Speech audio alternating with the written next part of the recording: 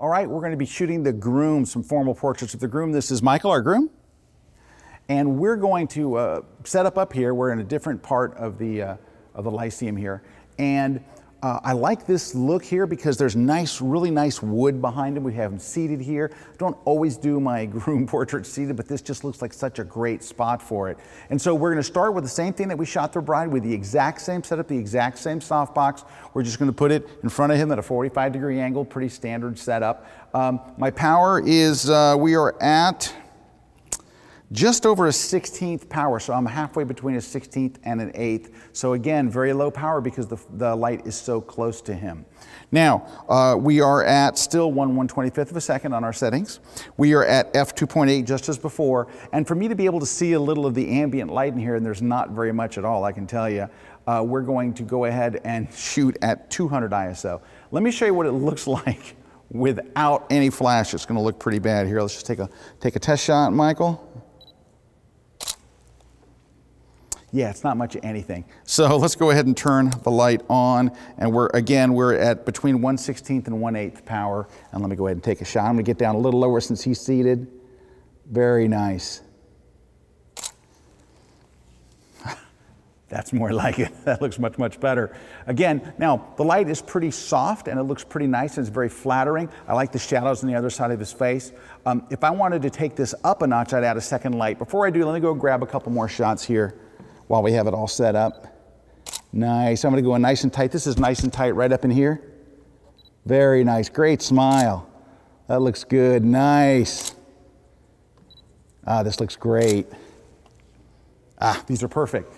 But if I wanted to take things up a notch, I would go ahead and add what we call a kicker light in the background. It's basically either a hair light or a rim light, a second light. Now we use this very nice strip bank. It works the exact same way. It's an Apollo strip and it works the same way as the big softbox. It pops into place just like the other one. And we're gonna position it behind him and kind of aiming down. And this is pretty much our standard setup for this. I have the front light over here. I have the strip bank in the back. And if you see me live on tour, you'll see me doing this exact, this is the exact same kit that I use on tour to do the same thing. So here's what I'm trying to get out of the lights. Number one, I want softer, I don't want super creamy, mega soft light, or I, I would get the light closer to him. Uh, by the way, if you want edgier light, just push it back farther. So I don't want to get it too close to him because it will look too soft, but this is what I'm looking for. Soft light, then a little bit of shadow, and then this hard edgy light. Now I'm gonna go ahead and take a shot, but I can tell you what, when you do this, if you want success in using multiple lights, you know what the key is? Do them one at a time. Just look at the back light first, turn off the front light, look at the backlight. I'm gonna go ahead and do that. I'm gonna turn off the front light so I'm just seeing the strip bank that we just added because if that's not positioned right you won't know once all the lights are on. So let me go ahead and shut the front light off and then we're just going to test just the back light. All right so if you look straight towards me and let me just get a see just what the backlight looks like. All right, the backlight's probably hitting his nose a little more than I would want it to. It looks pretty good the rest of the way on his shoulder, around his hair. I'm gonna have Brad move it back, just slide it down just a little bit. Oh, there you go, just tip it the other way a little bit. And while you're right there, Brad, hold on, I'm gonna take a test shot. That's better, that's, not, that's much better. All right, so I'm gonna go ahead and turn on the other light here. We're gonna go to that group and just turn it on.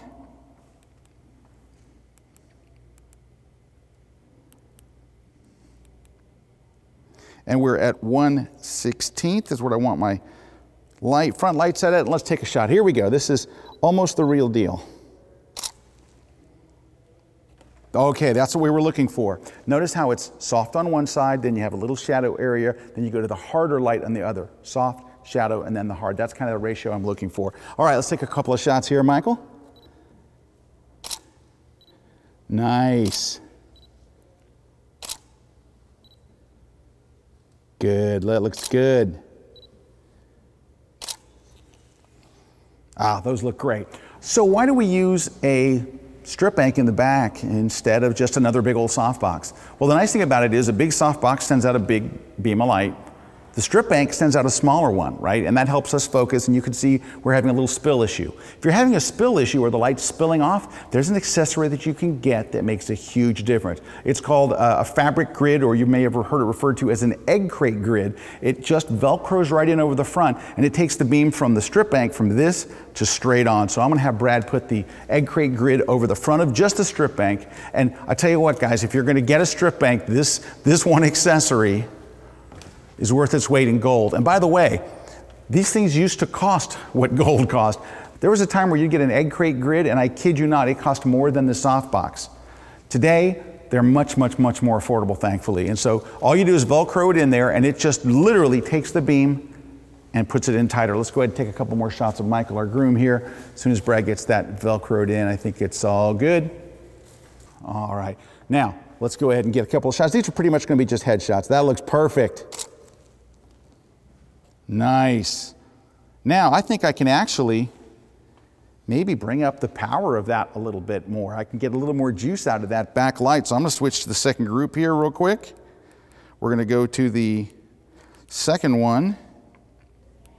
Increase the light from 1 eighth to maybe 1 quarter. I can get a little punchier with that. Here we go. There we go. That looks really nice. All right, and you got no spill. It looks perfect. One more, Michael. Nice. Beautiful. All right, now we're going to try something different. I had Brad go and take the softbox and actually kind of put it behind him. So it is almost a little bit to the side and a little bit behind him. Now you notice I also removed the strip bank. The strip bank's out of the picture. We only need one light for this. It's going to be kind of a, a dramatic look. And here we go. And you notice I have him kind of looking away from camera kind of looking off into the nether regions.